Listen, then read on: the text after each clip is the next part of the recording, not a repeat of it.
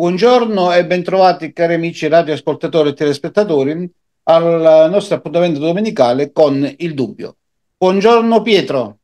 Buongiorno Francesco, buongiorno a tutti voi che ascoltate. Sempre più numerosi, mi raccomando. Eh? Sì. Allora, oggi Pietro, mh, mm, siamo, uh, siamo giunti a pochi mesi dalle prossime elezioni europee. Abbiamo avuto già due eh, termometri, possiamo dire, eh, elettorali del breve giro, Sardegna ed Abruzzo, e notiamo che comunque il trend eh, eh, che si è avviato ormai dagli ultimi 5-10 anni, eh, legato al nuovo oh, popolo, eh, quello degli astensionisti, sta, eh, ha raggiunto oltre il, circa il 50% del, ehm, degli aventi diritto che non si reca a votare. Mm, ci siamo chiesti, si ci è chiesto già da un po' di tempo il perché non, eh, la gente ormai non vota più. Eh, delle volte si sono trovate eh, concomitanze con eventi, eh, festività o altre, ma la realtà è ben altra. Il motivo per cui questo numero di aventi diritto al voto non eh, esercita il proprio diritto è ben alto. E nelle ultime due eh, competizioni elettorali, quelle già dello scorso 25 eh, settembre per le politiche nazionali, abbiamo visto che all'incirca il 60% si è recato a votare, quindi un 40% non ha votato mentre nelle regionali attuali siamo raggiunti quasi al 52%. Al 50%. Pietro, un'analisi fatta, diciamo, a modo tuo, da una persona che legge molto uh, i numeri e legge molto tra le righe quello che sta accadendo. La vera realtà di questo nuovo partito, perché si è creato una sorta di partito alla fine, partito degli astensionisti. Quale è e quale è la medicina, chiamiamolo così, che può sanare questa perdita di contatto con la politica, quindi perdita di contatto, di mettere in, in come si dice, a, a nudo la vera realtà che ha portato la gente ad, ad allontanarsi. Va bene, buongiorno ancora. Francesco, vedi, vedete cari telescoltatori, il trend è vero e negativo, ma ci stanno da fare delle considerazioni. Non è vero che le cose nascono così, per, perché questa disaffezione al voto la fanno scivolare. Continuare col trend negativo significa avere, come ci sta già, una deriva di democrazia. I sondaggisti, quando chiedono qualche cosa ai, agli elettori naturalmente commissionati dai gruppi, dai partiti, dalle organizzazioni, fanno soltanto una parte del loro lavoro, dicono quello, l'intenzione di voto su quello, su quell'altro, su quell'altro ancora, e rilegano alla, all'astensionismo un'attenzione pari a zero. E allora chiediamoci perché. Perché noi abbiamo avuto in Italia fino al 92 punti di, vo- di voto, di, di, espressione di voto, 80-90%, che significa che la gente italiana, il popolo italiano, era abituato e voleva votare per quale motivo?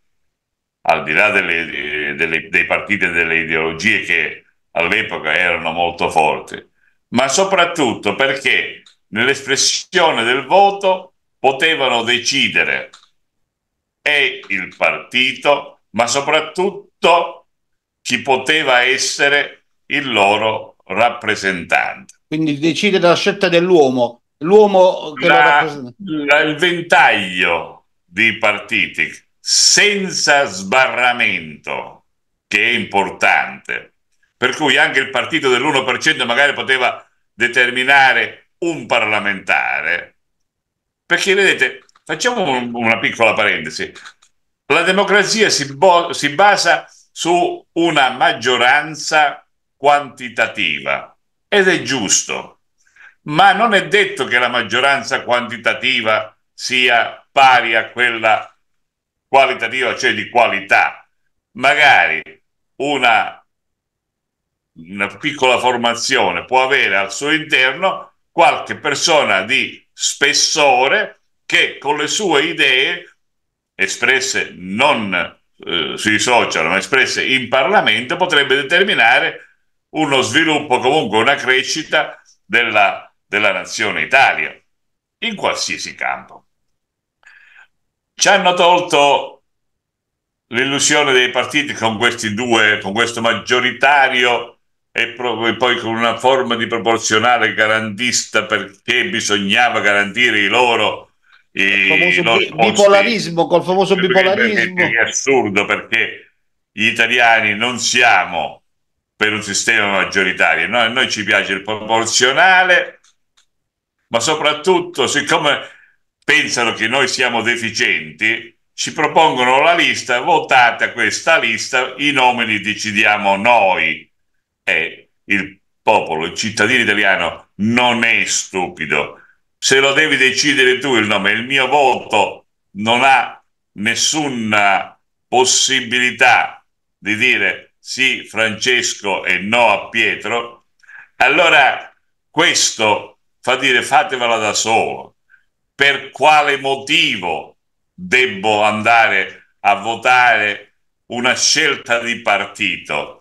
E vedete anche la, la, la, la piccola interlocuzione che negli anni 70-80 andava bene, quando Idro Montanelli ha detto mi il naso e voto democrazia cristiana, beh, io dico una cosa da sempre, eh, ancora oggi, ancora maggiormente oggi valida, non è che votare il meno peggio ci salva, perché comunque il peggio cioè votare il meno peggio, di fatto è il peggio.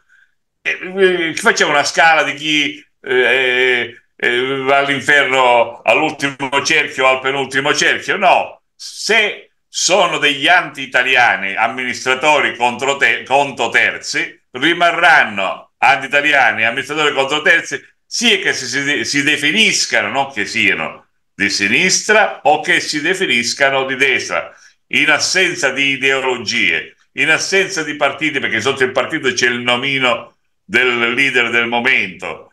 Negli ultimi vent'anni ha cominciato Berlusconi con Forza Italia per Berlusconi, presidente Berlusconi, quando non, era, non è ancora possibile in Italia che il eh, presidente del Consiglio venga a essere stabilito da un voto popolare, se non eh, da, da una contrattazione che si fa all'interno del Parlamento, ma soprattutto l'incarico lo dà per fortuna ancora oggi il Presidente della Repubblica, benissimo, questa cosa la gente la percepisce.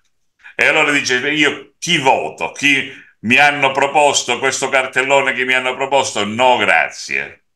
Quindi, Fatelo da solo perché tanto il mio voto non conta nulla. Quindi alla, alla fin fine Pietro e il problema è proprio questo principale. Vede, il cittadino, il cittadino italiano Avete si è visto desautorato del proprio diritto di voto. Perfetto. Allora, se noi ritorniamo al proporzionale puro, senza sbarramento, perché dovete avere il coraggio di far arrivare la maggioranza, la, nella maggioranza quantitativa qualche espressione qualitativa, che quella qualità che sarà da pungolo, che sarà da stimolo alla gente di dire vabbè, la maggioranza ha vinto e va rispettata, però il mio rappresentante, quello che ragiona con una testa diversa, quello che magari ci avrebbe dovuto dire guardate che fare determinate cure probabilmente in maniera sperimentale non è il caso di farla, probabilmente. Era una voce diversa. Probabilmente dare armi in una guerra persa, dare soldi e energia in una guerra persa, probabilmente è sbagliato dirlo quantomeno. Guardate, eh, una cosa, un fatto importante, la settimana scorsa c'è stata eh, nel panorama internazionale una, un fatto che in Italia naturalmente non se ne è parlato, per carità, immaginiamoci se i giornalai italiani potevano raccontare questa cosa. E c'è stato il discorso alla nazione del presidente Biden, dello Stato della Nazione. Lasciamo perdere quello che ha detto, quello che non ha detto, come l'ha detto. Ma il fatto importante è che non è stato detto, eppure è vitale, che sono state arrestate delle persone che dall'Ogione urlavano contro Biden. Chi erano queste persone? Erano militari e parenti di militari che erano stati uccisi in Afghanistan prima, qualche giorno prima che si ritirassero, sapendo perfettamente che sarebbero ritirati e che comunque le hanno mandate a, combattere ancora. Quindi a guerra persa gli, gli, gli americani stessi oggi si stanno ribellando, è una minoranza, va bene, vedremo le prossime elezioni a novembre, ma sono dati indicativi di una maggioranza, di una, di una voce che parla di qualità e dice una guerra persa che senso ha aver fatto morire i nostri figli e i nostri commilitoni. Questo è stato detto qualche giorno fa dai logioni del congresso mentre Biden stava facendo sua, il suo show e li hanno Quindi... dovuti arrestare perché dicevano queste cose.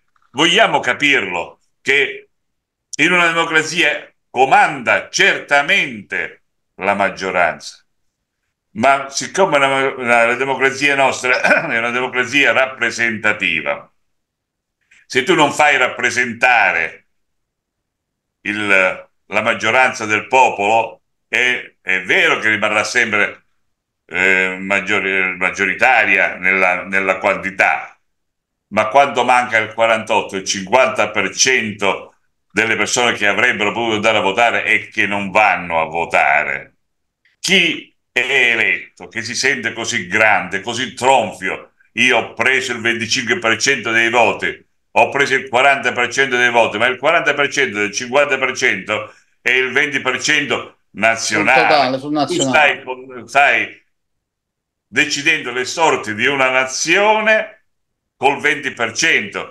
Pertanto, Forse non pertanto, è tanto democratico. Pertanto Pietro, quindi questo, questa parte, diciamo, chiamiamolo il partito degli arrabbiati, no? Perché poi alla fine è l'astensionista, eh, come da quello che tu hai, ci hai posto come riflessione, è quella fetta di cittadini che sono arrabbiati, come dicevi, con la sinistra e con la destra, non è che sono arrabbiati con non uno o con l'altro, ce l'hanno, co- ce l'hanno col sistema, col sistema eh, di... E sono demoralizzati, non che arrabbiati, sono delusi delusi, cioè, vabbè tanto come va va.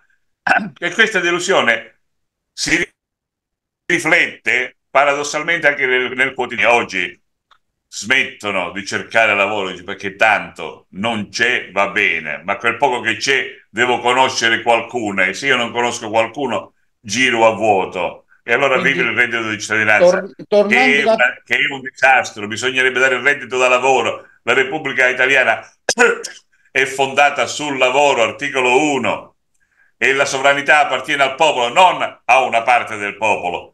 Per cui non vogliamo il reddito di cittadinanza, vogliamo che occasioni di lavoro. Ebbene, queste occasioni di lavoro ci vengono tolte. Ci vengono tolte perché, perché ci stanno, quando ci stanno tanti disoccupati, il costo del lavoro, il salario scende. Certo. Bene, questo è un disastro. Guardiamo quello che doveva succedere e non ne è successo in agricoltura perché l'hanno stroncata subito. Noi continuiamo a pagare arance in questi periodi a 2 euro, 2,20 euro, 2,40 euro. Il poveraccio del contadino, della, della, dell'agricoltore, dell'arboricoltore, ecco, mettiamolo così, ha un, uh, un reddito di 15, 20, 25 centesimi alla, alla, all'albero il latte, il latte, quando lo stanno pagando, guardate quando il latte oggi, in molte, in molte stalle lo stanno buttando perché, perché manca la possibilità di portare il latte sulle nostre tavole da 0,15, 0,25, 0,30 magari. Per loro è più economico eh, distruggerlo, è più economico distruggerlo che allora metterlo dei, dei, dei, dei governi con quelli che sono stati eletti, che sono rappresentanti veramente del popolo, non rappresentanti del partito, che sono due cose in antitesi, presa perché magari c'è stata la grandinata e le arance non le raccolte più. Questo è il problema. E poi facciamo venire l'olio dalla Tunisia con tutti i giri che deve fare e ai nostri olivicoltori gli impone delle, delle pratiche, delle norme, delle discipline giuste, ma non si può essere giusto da una parte e farfalloni dall'altra parte.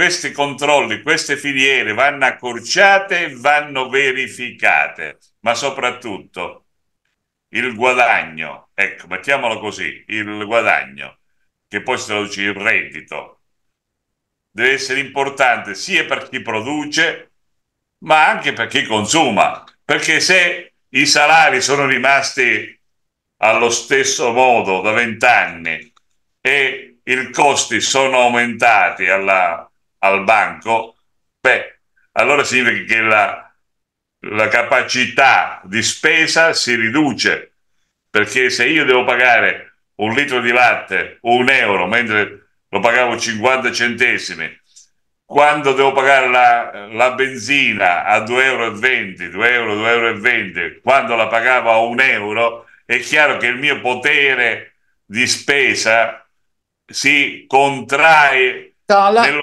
stesso modo. E allora, se io devo andare a fare una passeggiata domenica con la famiglia, andare a vedere magari, che ne so, gli scavi di Pompei e mi devo fare 200 km, e beh, 200 km comincia a essere pesante anche con la, i livelli di energia, perché poi chiaramente andare a mangiare e i costi del ristorante, della trattoria, di quello che è. Ma avete visto quanto costano ultimamente i, quei, quei panini, insomma, quelle cose che chiamano snack negli, negli autogrill? Ci sono prezzi 7, 8, 10 euro per un panino. E nessuno si, si, triplica- si sono triplicati i prezzi, non raddoppiati, triplicati. Ma nessuno di un panino e mortadella, un panino, una cosetta con mortadella 6 euro, 5,60 euro. Stiamo parlando delle vecchie 11.000 lire. Ti compravo un negozio con 11.000 lire. Ecco perché il problema rimane sempre in questi governanti che non gliene frega niente perché tanto si fanno le loro liste e saranno sempre lì da una parte e dall'altra, non facciamo discussioni. È il popolo che capisce queste cose perché non siamo sciocchi, non siamo stupidi. Ah, ci volete fare così, ma almeno non avete il mio avallo perché lo sbarramento, questa divisione di poli, il fatto di avere un maggioritario per un popolo abituato a un proporzionale puro, sapendo perfettamente che la quantità e la qualità non vanno sempre assieme. La quantità e la qualità sono spesso, quasi sempre, separate la qualità è quell'1% che viene a essere eliminato perché non fa parte del sistema. Questo bisogna capirlo. Questo lo abbiamo capito noi, però bisognerebbe farlo capire a quelli che continuano imperterriti, perché vedete alle prossime eh, elezioni europee il trend sarà ancora a scendere.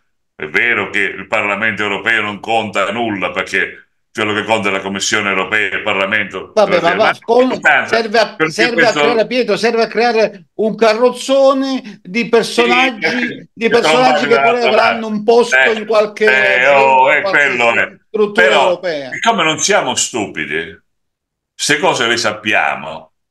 Allora, prima che sia troppo tardi, che arriviamo al punto del ritorno, perché il problema è che dopo il caos c'è la restaurazione, questo è un fatto storico e la restaurazione significa che qualcuno domani mattina si alza e dice vabbè, mo basta e ritorniamo a quella stagione golpista degli anni 60.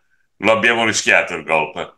Oggi stiamo andando in quella direzione, ma ci stiamo correndo veramente tanto perché non ci rappresenta più nessuno. Quindi, Pietro... E io sono terrorizzato da questa cosa questo è, un terrore che ti perse- questo è un terrore che ti perseguita eh, puntualmente, lo stai facendo notare, lo stai ponendo alla riflessione di tutti noi. Eh, Quindi alla c'è. fine, Pietro, il problema eh, a monte di questo partito dell'astensionismo è legato principalmente alla mancanza di una riforma elettorale seria che dia eh no, al cittadino, no. al popolo, sì. dia al popolo la possibilità di scegliere realmente chi lo, chi lo amministra. Oh, e il fatto che siccome sappiamo che non scegliamo nessuno perché dopo se la fanno tutte loro, vogliamo, la preferenza e l'assenza di sbarramento riporterebbero la gente a votare e chi è votato sa che se non fa gli interessi della gente non c'è il listino che tenga,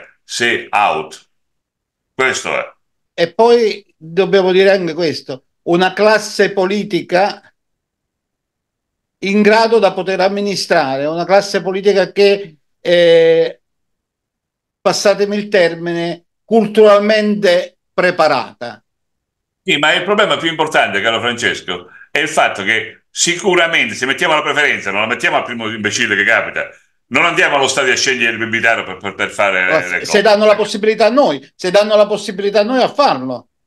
Se danno la possibilità a noi sì, a farlo sicuramente. Sistema, certo. Ognuno scriverà la preferenza rispetto alla persona, al di là della lista, o dentro la lista, che lo rappresenta di più, ma lo decide l'elettore, non lo decide il segretario di partito. Ecco, per cui questo sarebbe il fatto più importante. Ritorno al passato, perché i nostri padri fondatori sciocchi non erano. Quindi dobbiamo dire questo, un augurio per il nostro futuro, per il futuro del popolo italiano, per il futuro dell'Italia, è il ritorno al passato. Un Magari. passato a, a politico quando, come hai detto tu, i nostri fondatori della patria, i nostri padri eh, fondatori avevano fatto una scelta ben precisa che di certo non è stata dettata da nessun, ma dalla coscienza, dal, dal voler dare veramente dopo quel ventennio eh, che ci aveva oscurato, dopo tutto quello che era stata la guerra, le guerre, avevano dato, fatto capire la necessità che il popolo a decidere, a scegliere chi doveva amministrare e chi doveva rappresentare. La prossima sulla Costituzione. Questo è è importante perché Calamandrei, penso che lo conoscono tutti quanti, è una delle persone più capaci che noi abbiamo avuto e ha fatto un discorso che secondo me è il manifesto più importante che abbiamo della nostra Costituzione. Quindi la prossima volta diamo già un appuntamento. Una delle prossime volte, vediamo quando. Devo analizzare alcuni passaggi di quel discorso. Magari lo facciamo per il 2 giugno, ecco, forse magari. E forse lo prepariamo, sì, per la festa della Repubblica, perfetto Pietro. Va bene, facciamo un bel okay. appuntamento dove andremo a analizzare i vari passaggi del discorso di Calamandré. Va bene Perfetto. Pietro? Allora auguriamo a tutti una buona domenica e alla prossima. Qui da noi, buona domenica. Alla Ruggero Orlando ovviamente. Arrivederci.